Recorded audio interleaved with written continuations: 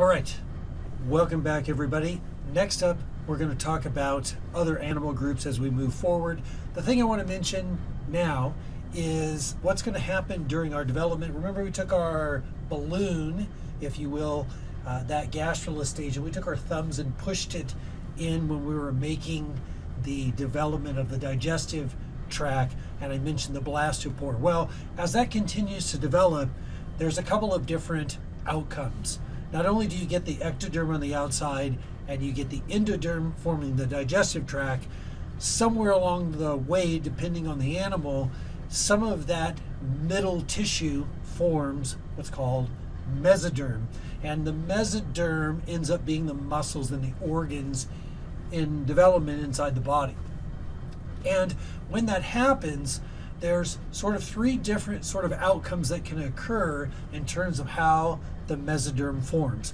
One is that the mesoderm forms these solid blocks, and that's what you see in this top picture here, and that's called an acoelomate. An acoelomate is an organism that has no body cavity. Down below, you can see a what's called a pseudo coelomate, and that's an organism that has what we call a false body cavity. And then the last one down below is called a, celi- a coelomate or a eucoelomate, and those are all the other organisms, and they have a true body cavity. And they look very similar, but you'll notice if you look closely that in the eucoelomate or the coelomate, the mesoderm lines the entire space. In the pseudocoelomate, there's a space, but it comes right up to the endoderm tissue it doesn't it's not completely surrounded. Now, the reason a body cavity of some sort, whether it's a pseudocoelomate or a true coelomate, is important is it allows organisms to grow organs and and have organs stretch inside that body cavity for example so humans as an example we have a body cavity and and that's where our organs are inside and so one of the things for example that you're able to do if you eat a really big meal your your body your stomach and your digestive tract can kind of stretch a little bit into that space a lot of these animals use that body cavity during certain times of the year for example to grow um, testes or ovaries for reproduction.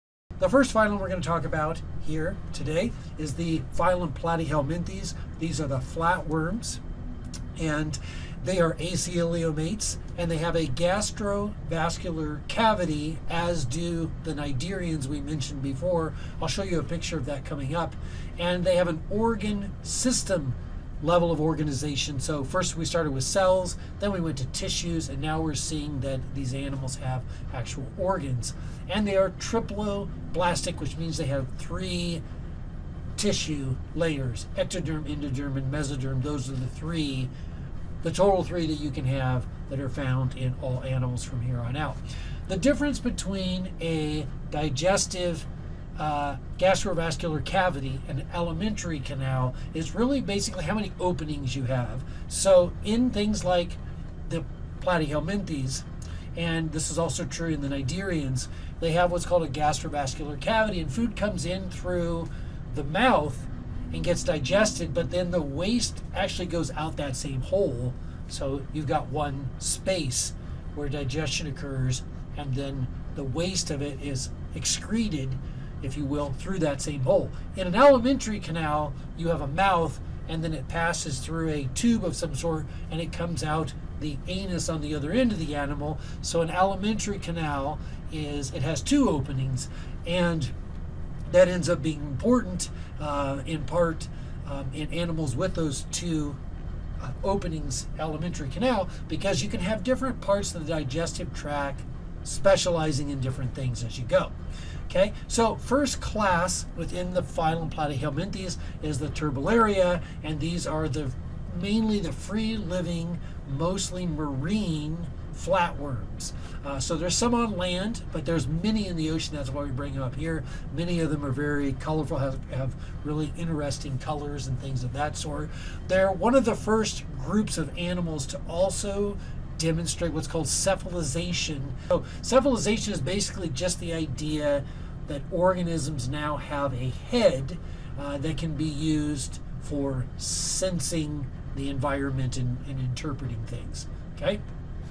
They also have a gastrovascular cavity, which I just mentioned, and they have really good ability to regenerate. So, lots of studies done on flatworms where they do things like cut the head in half and it can grow two heads. So, flatworms have a really good ability to grow body parts back uh, when they are uh, amputated. And, and so, there's a lot of research that's been done on those animals, trying to mainly figure out if that can be done in other things. There's some really interesting uh, examples of flatworms. Uh, many of these are found in your book just as examples to see. You don't need to know the different species. This is an interesting one where these two flatworms are engaging in what's called penis fencing. So they are hermaphrodites, so they have both male and female parts, but they're fighting each other, and one of them, uh, both of them are trying to fight and inject they're, they have this sharp penis that they can puncture into the other one, and they're trying to fertilize um, each other. And the one that fertilizes the other one, uh, the, the one that gets fertilized basically has to repair the injury of having the penis stuck in them and then also has to take care of the eggs and that sort of thing. So it's a mating strategy where potentially both of them could be stabbed with this harpoon penis and inject sperm in them, and they both then uh, become pregnant. But in these flatworms, it's called penis fencing. The next class is the cestoidea. These are the flatworms. The flatworms are common in animals on land, and they are big parasites, uh, including ones found in humans. I only mentioned one here since it's marine biology. The Cestoidea, the class Cestoidea with these tapeworms, have these repeating body parts called proglottids. And they can be really, really long. They're tiny, they're microscopic, but they can be long with these repeating proglottids. Basically, every kind of animal you can think of has a tapeworm in it. And in, in our case, there are fish that have tapeworms. Where humans can potentially have a problem with this is eating low grade sushi. So I eat sushi all the time, by the way, but I eat, uh, you know, I eat good sushi. I don't go to a, a place that is sketchy. Okay. Okay. The next thing we're going to talk about is during development is what happens when I take my uh, balloon and I push my thumbs through, and I talked about that blastopore, that opening. Well, as that continues to go through, it comes out on the other end, and one end, the blastopore, ends up forming either the mouth or anus, and the other end forms the mouth or anus on the other side. And it depends on what kind of animal it is. So there are two groups of animals that we'll see here that allow us to sort out which ones are which, and they are called protostomes and deuterostomes. Protostomes are animals in which that first opening, the blastopore, becomes the mouth. Proto, first, stome refers to the mouth. So a protostome is an animal in which that first opening ends up forming the mouth. Deuterostomes, which is us, the second opening becomes the mouth. So in humans, for example, in you, the first hole that you had on your body ends up being your anus. Whereas if you were a worm, it would end up being, um, the first hole would end up being your mouth. All right, so when we talk about protostomes and deuterostomes, uh, we'll find there's a big group of protostomes that include the mollusca, clams and snails, annelids, arthropods, all that kind of stuff, which we'll go into. And then there are deuterostomes, which is a much smaller group in terms of diversity wise, and those will be the echinodermata and then eventually the chordata, which will lead us to vertebrates, which include us. So, first, we're going to talk about these are all that we're going to talk about now are all protostomes. So these are all animals that we're talking about now that have that are triploblastic.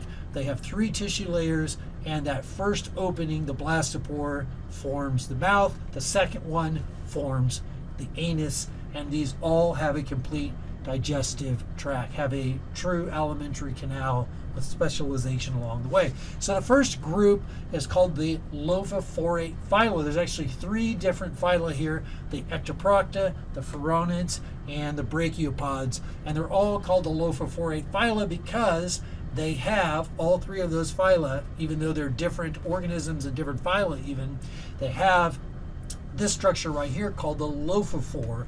And the lophophore is a specialized group of tentacles that are used for feeding. So you have the ectoprocs, uh, ectoprocta, which are also called bryozoans, which are colonial-like. They grow kind of like a moss almost. Uh, if you've seen uh, close-up pictures zoomed in of moss, uh, they're called a thallus, each little one. They look kind of like these ectoproctas here, uh, but they are actually a kind. Again, they're their own group, and they have these this feeding structure called the lophophore. Then we have the phoronids. These are a marine tube worm. There's actually many different marine tube worms, but once again, these phoronids have this lophophore structure. And then, and the last of the three are called the brachiopods. These are also called the lamp shells. They look very much like a clam, but again, don't typically have uh, a structure like these feeding tentacles, so that's unique. Next, we have a phylum called Nemertea. Uh, these are also called ribbon worms or proboscis worms. They have a closed circulatory system. I'm going to mention that in a second. They have a complete digestive tract, which is the same as having a complete alimentary canal. So they have a mouth on one end, anus on the other, and they have a proboscis. They have this mouth structure that they can extend and bite you with. And so on land, you might think of worms as like, you know, what's a worm going to do to you? Well, in the ocean, in the marine environment, there's a very large group of worms and other animals that would probably surprise you by how bad they could hurt you. And so the Nemertea are one of them in which, if you're handling them, they can they can actually bite you and take a, a chunk of skin out of you uh, by biting you. Okay, so let's talk about the circulatory system here. I have one slide I need to move in a different order. Open versus closed circulatory system. Most animals, most of the smaller animals we talked about so far, have an open circulatory system. And what that means is they have a heart of some sort or a pump, and it pushes the fluid around into a space. And the fluid, which is not really blood because it's not separated by these blood vessels, it kind of sloshes around the cells of the body, and that's called an open circulatory system. And that design works very well in small animals. But as animals get bigger, uh, especially like you take humans and, and whales and, and other very large, much larger animals, there needs to be a better ability to control blood flow or fluid flow in the animal. So a closed circulatory system is where you, the blood stays basically inside blood vessels. Uh, and in order for the the nutrients to reach, say, the cells of the body, has to come out of these closed vessels. Whereas in an open circulatory system, it kind of just sloshes around. It doesn't stay inside the tube. All right, our next group is the phylum Mollusca. Uh, this is a really big marine group. Most of these animals are marine. Many of them are protected by a hard shell made out of calcium carbonate. We've seen that material before in some of our uh, protozoans when we talked about them. They have a structure called a radula, which I'll talk about. Most of them have an open circulatory system. Now, when we talk about a mollusca, uh, we need to know the basic parts of a mollusca. And so uh, when, when they talk about this group, they often use this thing they call the HAM and it stands for a hypothetical ancestral mollusk. And the idea is that they have these four basic parts. They have a muscular foot, which is used for moving around. They have a generally a thin layer of tissue that cover the organs of the animal called the mantle, and the mantle is what will secrete the shell if an animal like a mollusk has a shell, many of them do. Inside the mantle is what's called the visceral mass. That's where all the organs are. And then somewhere in there near the mouth region, usually, is a structure called a radula. And a radula is a specialized feeding structure found only in the mollusks that is used for uh, feeding and it's modified in different ways. But it's like a file. All right, so we have several mollusca and they are the class Monoplacophora, Polyplacophora, Gastropoda, Scaphopoda, Bivalvia, and Cephalopoda. So we're going to go through all those right now. The first is an interesting one called the Monoplacophora. They're single-shelled. They have a segmented body, which is they have repeating body segments. That's unusual in mollusca. You don't see that very often. They are a deep marine organism that uh, they have a reduced head and they use their foot for locomotion and they have a radula and really up until fairly recently we thought they were all extinct and i think it was just in the 1950s or 1960s they found living monoplacophorans um, so this is probably the closest looking organism to that ham that I told you about. The second group is the polyplacophorans, and these are all marine, and you can tell them apart easily because they have these eight overlapping plates. They have a foot used for locomotion and they have a reduced head. We often call these the common names of these animals are chitons. And a good friend of mine, um, a good friend of mine, Doug Eernisse, is a world leading expert on polyplacophorans. Okay, they also have a radula, and again, they use that radula mainly for scraping algae off of rocks as they move.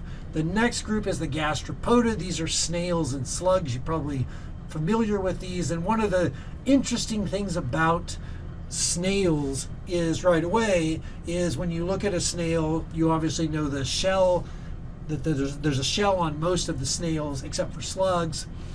And what happens to the body during development of gastropods is the body turns, it's twisted on itself such that the anus of it ends up sitting kind of right above a snail's head, as you can see there, which is kind of an unusual uh, thing, I would think, in most animals. And people have tried to come up with reasons why evolution might favor that kind of thing. Uh, sometimes they have a shell, sometimes they don't. It's often it's coiled in a circle, um, but you, you've probably seen snails like that before. Some predatory snails, one good example of those are the cone snails, which have this harpoon-like modification of that radula, and they can inject toxin into you. This is a cone snail here. They use it for paralyzing fish. They're found in tropical waters, and, and one example of them uh, are found in Australia. And they are very poisonous. People have died being, um, you know, stung, if you will, or, or bit uh, with this harpoon like structure in cone snails. They have a very strong toxin in them, and uh, not only is the toxin very lethal, uh, and, and, it's a it's a paralytic. It can paralyze you.